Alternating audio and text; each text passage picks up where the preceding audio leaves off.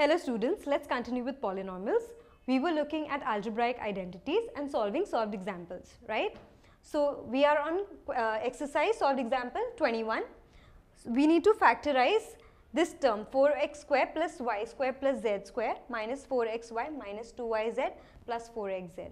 So I'm just going to take a look at this sum and just try and understand uh, whether it is referring to any of the algebraic identities.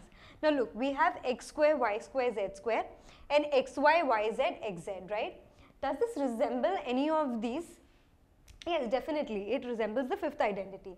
See, we have x plus y plus z the whole square which is equal to x square y square plus z square plus 2xy plus 2yz uh, plus 2xz plus 2yz. So, I am just going to go ahead and rewrite my question, right. So, solution we have 4x square plus y square plus z square minus 4xy plus 4xz minus 2yz. I have just shuffled these two terms, right? I have written 4xz first and minus 2yz. The sum doesn't change. Now, you would be wondering that here we have positive signs which is fine until here. But here also we have all the three terms having positive signs then why do we have negatives here? How are we going to solve this further? Let's take it one step at a time, right? First of all, I'll write my fifth identity which is now this sum itself has variables x, y, z, right? So, I'm just going to switch x, y, z over here by a, b, c respectively, right?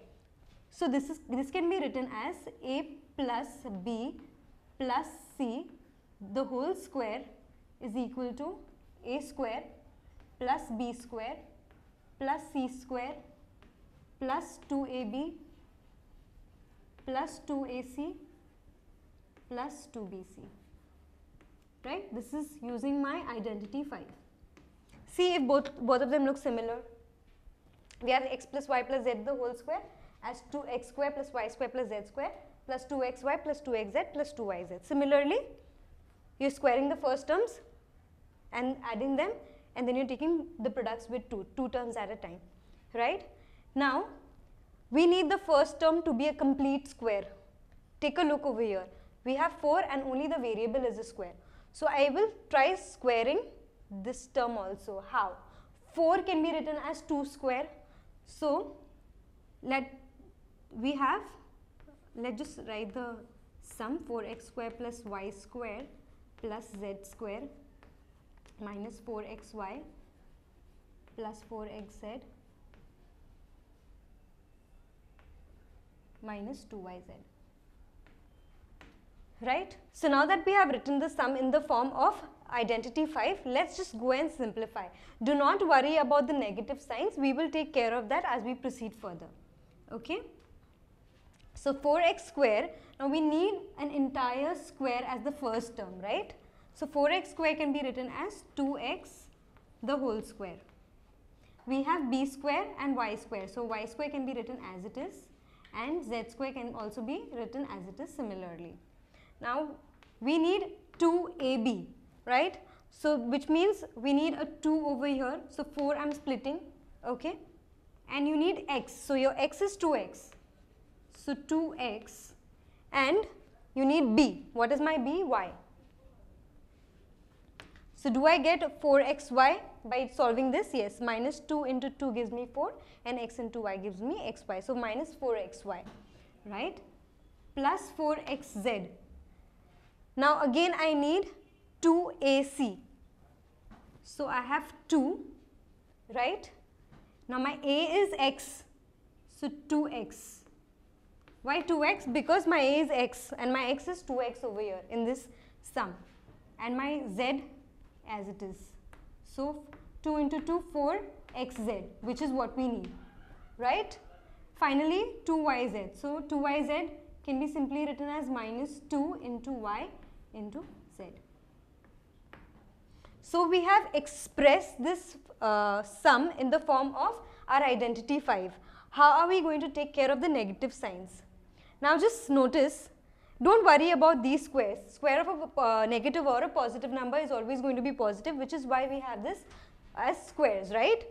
Everything is positive. But here notice that wherever y is present, there is a negative sign which means this sign, the negative sign is occurring because of the y's.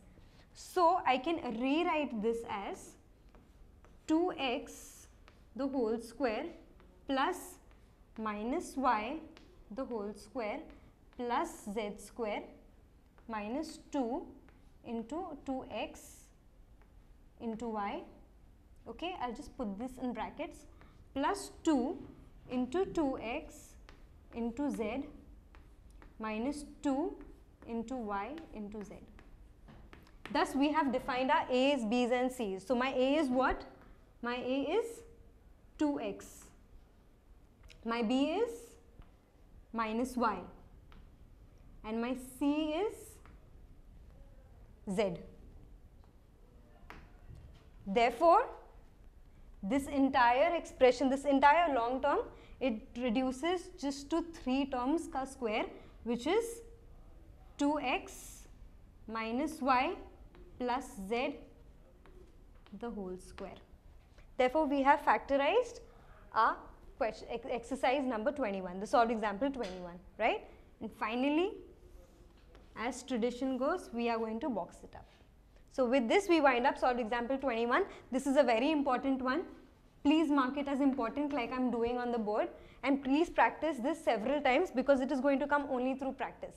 Okay, so we'll continue with the remaining solved examples in the next class. Thank you.